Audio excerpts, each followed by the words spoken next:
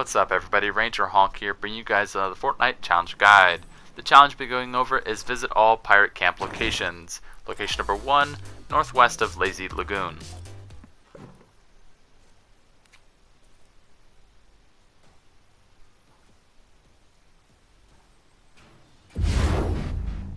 Location number 2 is southeast of Lazy Lagoon, just underneath the volcano.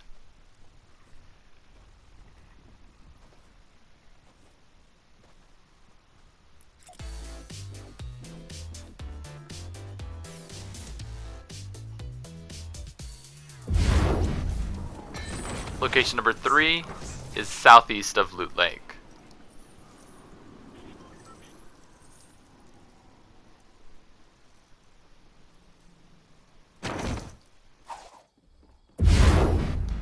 Location number 4 is southwest of Tilted Towers.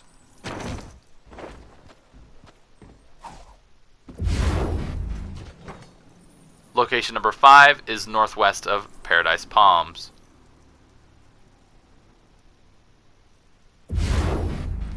Location number 6 is west of Pleasant Park.